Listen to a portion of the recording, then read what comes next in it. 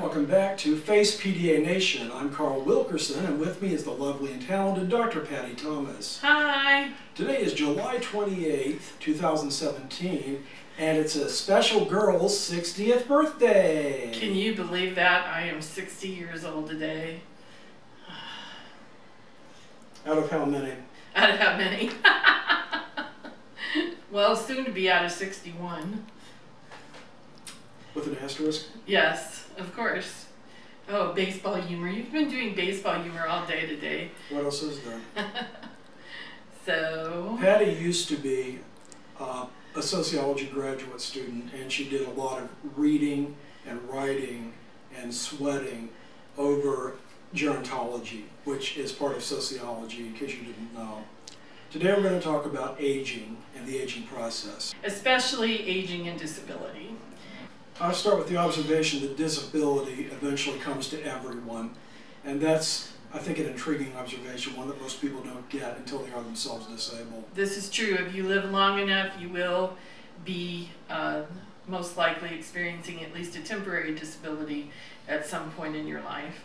The cool thing about my life right now, and the reason I've been thinking about disability in relationship to this, is that because 60 is a milestone birthday, and um, of course, it's a milestone just because of the way our culture treats tens, not because it's any particularly important birthday. Yes, not every uh, not every social group has ten fingers and ten toes. Well, they probably do, but but anyway, um, the uh, my 40th birthday was right after I got ill for the first time. So I was very, very sick on my 40th birthday was sort of the lost year. So my 40th birthday was uh, extremely disabled and uh, having a hard time. My 50th birthday was a little bit better. I mean, we had a diagnosis by then and so forth. But I pretty much was right on schedule gerontologically with all the things that happen to you when you turn 50 that year. So I ended up with uh, uh, all kinds of fun stuff that I had to deal with.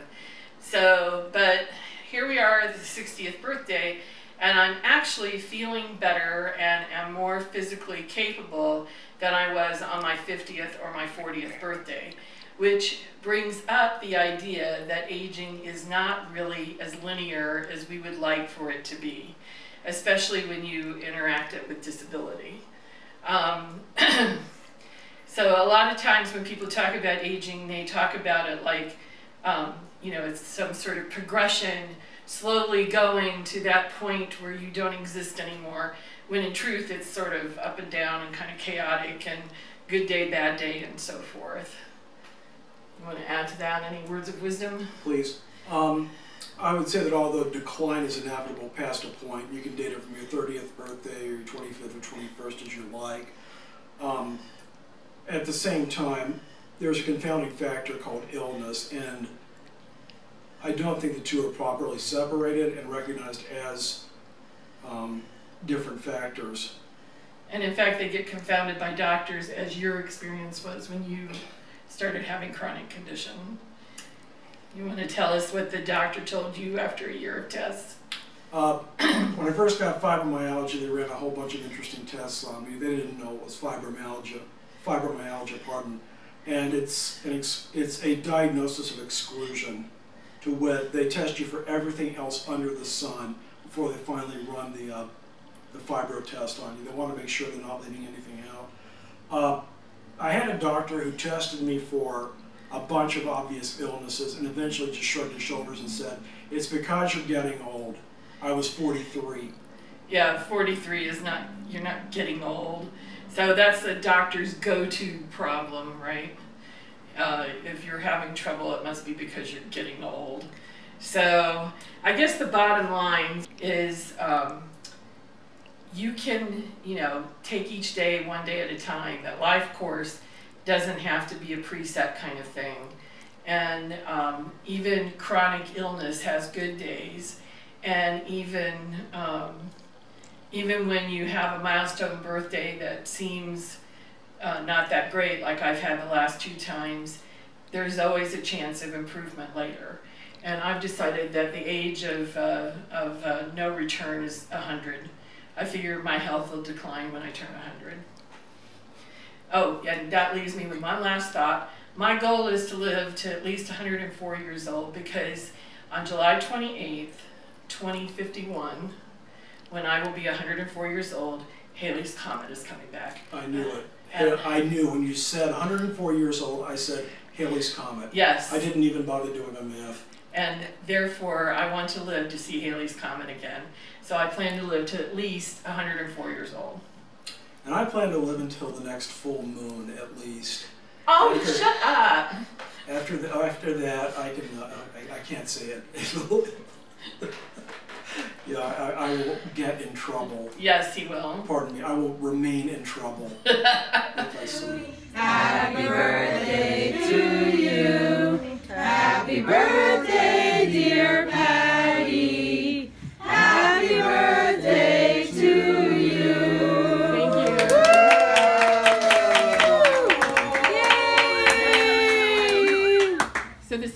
Is like falling backwards as you guys are singing. I like. Hello and welcome to the cruise with Pattie's Cake. La la la la la la la la la la. This is just like Wheel of Fortune. Where the cake stops, no one knows. Make a wish, everybody. Oh, us kissing is on there too. Look at that. Aww. Happy birthday, Pattie. Thank you. This thing. And we're to the where we were. Yes. Oh, I'm fine. Oh, this and yours can be more. All you have to do is live, live 60 years. What's behind door number two? Ready? Be sure to subscribe. Like and subscribe. Thumbs up.